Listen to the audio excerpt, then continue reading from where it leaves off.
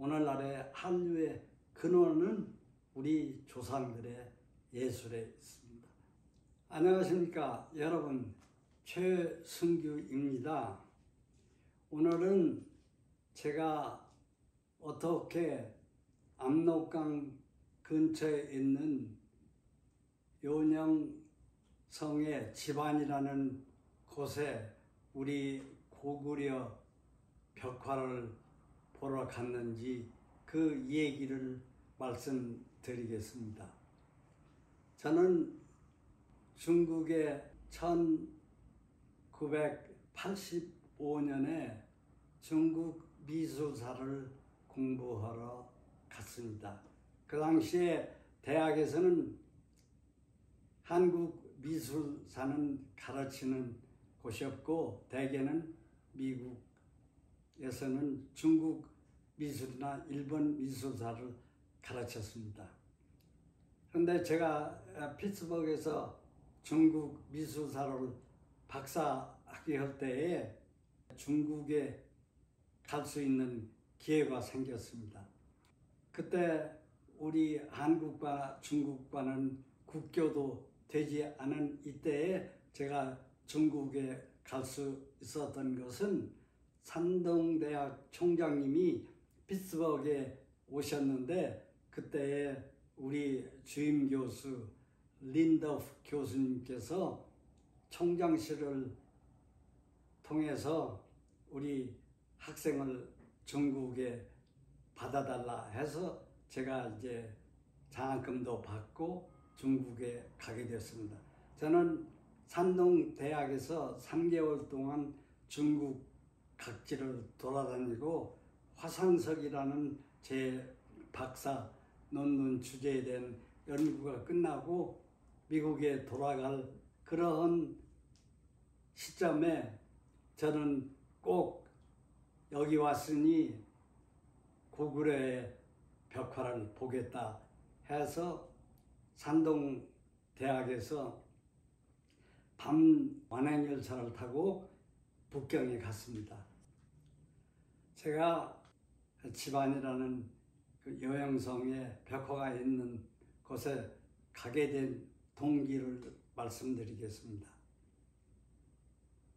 저는 윤희상 선생님이 하이델베르크에 오셨을 때 처음 만났습니다.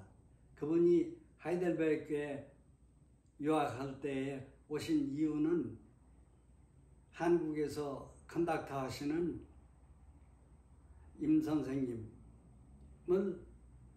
독일에 소개하기 위해서 임 선생님은 한국에서는 유명한 분이시지만 이분은 보스턴에서 컨닥을 연습하던 그런 때에 이와 예고에서 사랑하던 제자가 배병으로 죽게 되어서 한국에 갑작스럽게 나와서 그때 컨닥 경험이 없었습니다.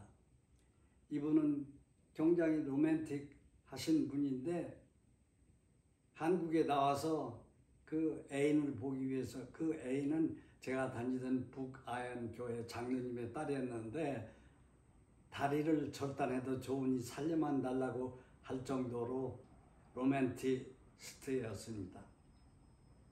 이 임원식 선생님은 한국 인으로서는 외국에 나가서 외국 심포니를 지휘해 본 적이 없었습니다. 그래서 윤희상 선생님이 임원식 선생님이 하이델베르크 조그마한 심포니를 지휘할 수 있도록 마련하셔서 그 자리에 독일 하이델베르크 유학생과 간호원들이 모여서 저녁도 같이 하고 사진도 찍을 때 처음 인사드렸습니다. 그런데 윤희상 선생님이 동백님 사건에 관련되었다고 해서 한국에 납치되었다가 다시 독일 정부의 압력으로 석방이 되어서 마나임이라는 그런 곳에 오셔서 자기의 작곡, 예를 들면 춘향전이라든가 이런 작품에 대한 설명을 하는데 제가 이제 강연에 갔습니다. 그런데 윤희상 선생님은 독일어도 그렇게 잘하시고 또 한국인으로서 자기가 왜 이북에 갔나 하는 얘기 중에 자기가 이북에 간 건 자기가 공산당이어서 이북에 간 것이 아니라 우리의 벽화 속에 흐르는 우리 한국인의 예술의 혼 이런 걸 보기 위해서 이북에 갔다고 그런 말씀을 하셔요. 그래서 야 나도 우리 고구려 벽화를 봐야겠다 이렇게 작심을 하고 있었습니다. 그런데 하이델베르크에서 나의 주임 교수라는 사람이 임나 문제, 미마나가 한국을 가야 시대에 다스렸다 이런 얘기를 해서 그런 일이 없다.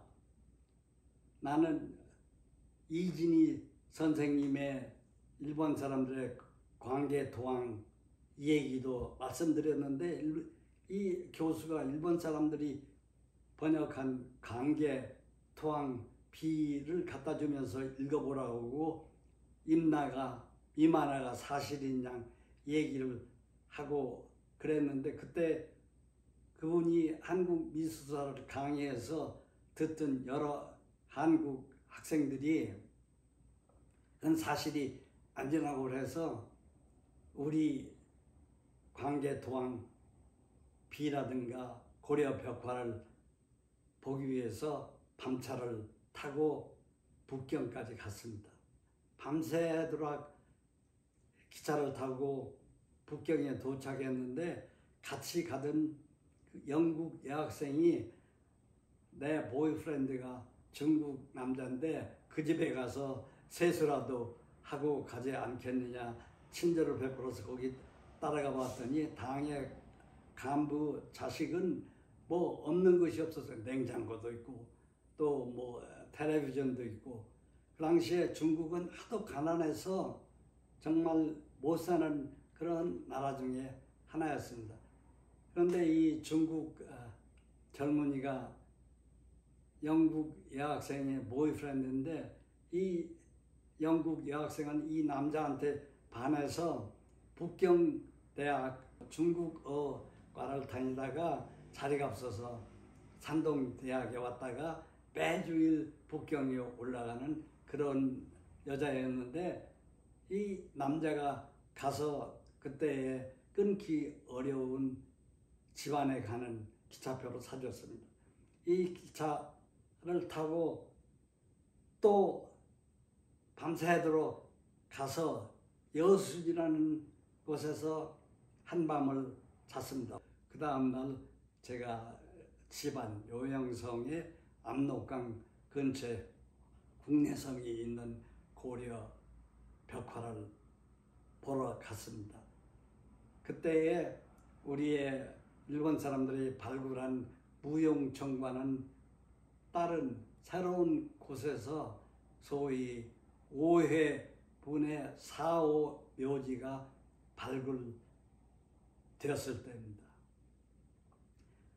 그래서 그 묘지를 보러 갔는데 중국 안내원이 껌껌한 그 지하 묘지에 데리고 가서 전기가 없어서 못 본다고 그래요. 그래서 다음날 보여주겠다고 그래서 그 저녁에 내가 어, 한국 음식점에 가서 중국 직원들을 초청해서 잘 대접했더니 그 다음날 이 중국 안내원이 묘지를 보여주는데 불이 어디가 있느냐면은 입구 쪽에 조그마한 집이 있는데 거기에 전기 스위치가 있어서 열어주고 그래서 들어가서 보았는데 와 이 벽화는 그 당시에 발굴한 지 얼마 되지 않아서 벽이 아직도 옛날같이 싱싱하고 또 지하이기 때문에 습기가 차서 천정에서 물방울이 떨어져서 더 색깔들이 생생하게 보였고 거기 사신도를 처음 봤는데 용들이 마치 살아서 움직이며 꿈틀거리는 같은 그런 훌륭한 우리의 조상의 예수를 만나게 되었습니다. 거기서 처음으로 해와 달림, 햇님의 림버스 원형으로 해 속에는 제가 처음으로 보던 흑조의 다섯 개 발이 있는 새알을 처음으로 보게 됐습니다. 그리고 어, 백호나 호랑이나 또 비천이 마치 날라들 다니는 것 같은 그런 훌륭한 예술 감각. 한국 사람으로 나서 그렇게 자랑스러웠던 일이 없습니다. 이 벽화를 보고 난 다음에 우리의 예술의 훌륭함을 다시 알게 됐습니다. 그 당시에는 한국 사람들은 중국과 국교가 맺어지지 않아서 중국 사람들이 왜 한국 사람은 중국에 안 오냐? 일본 사람들은 와서 여기에 윤동주에 집이 한 200km 되는데 거기 가서 윤동주에 쉬며 국민학교 때 쓰던 노트며 다 가져가는데 왜 한국 사람들은 못 오느냐? 아마도 제가 중국에서 한국에서 온 미국에서 온 교포로는 그곳에 처음에 간 사람 같습니다. 나는 한국을 거쳐 오면서 광계 토왕의 비석에 대한 원문을 그때 중앙대학교에 교무처장 하시던 나의 은사님이 한 번 만들어 주어서 그걸 가지고 대조를 했습니다. 강계 토왕의 비석은 뭐내 키보다도 훨씬 더 큰 그런 곳에 전면에는 이 한문으로 우리 아, 고구려의 역사와 시조 이런 것이 꽉 차 있고 또 옆에도 뒷면에도 한문이 쓰여 있습니다. 그런데 앞면에 탈락된 그런 곳이 많이 있었습니다. 나는 일본 사람들이 그 자수를 깎아내고 새로운 글을 새겼다는 그런 증거를 발견했습니다. 다른 글의 깊이, 새긴 깊이를 계산해 볼 때에 어떤 것은 너무 깊어서 글자가 안 보여야 할 텐데 글자들이 보여요. 그런 글자들은 한문을 공부한 사람들의 획을 제대로 써 넣은 게 아니라 일본의 히라카나 가다카나를 아는 사람들이 쓴 획이 무엇이라는 것도 잘 알지 못하는 사람들이 날조한 그런 사실을 제 눈으로 확인했습니다.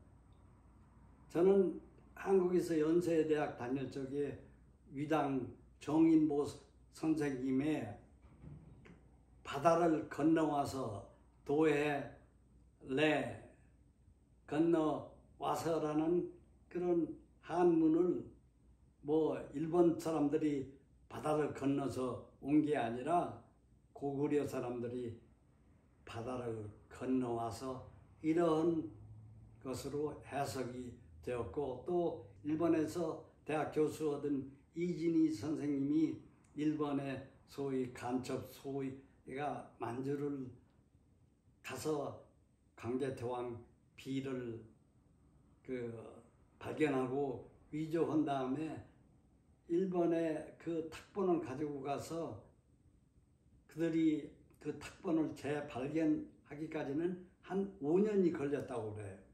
그러니 사람들이 꿍꿍이 서로 다 위조를 하고 이 아, 탁본을 만든 일본 어, 소전지 대인지 이 사람은 일본 천황한테 상금도 받고 그런 사실을 알고 있었어요. 그래서 토왕 비를 가니까 중국 사람들이 거기다가 조그마한 어, 집을 지어서 사람들이 문을 열어주어서 제가 이제 한국에서 가지고 간 그런 텍스트와 비교를 했습니다. 뒷면에는 떨어져 나가지 않았는데 앞면만 곳곳이 떨어져 나갔고 그것도 떨어져 나간 데는 깊이 패여 있었습니다. 또 광개 토왕 비만 보고 깜짝 우리 조상들의 훌륭함을 인식하게 된 것뿐만 아니라 거기에 일본 사람들이 소위 장군총이라고 하는 피라미드식 석조 건물 그것도 얼마나 잘 깎았는지 말할 수도 없고 또 무너질까 봐서 그 밑에 구덩이와 중간에 큰 우리나라에서는 운반도 하기 어려운 이런 돌을 세워놓고 또 그 위에 중국 사람들이 계단을 놓아서 올라갔는데 그 올라가 보니까 거기에 옛날에 천막식으로 기와를 놓았던 철봉 같은 것도 아직 살아있고 그래서 이런 피라미드 투번 무덤을 건설한 나라는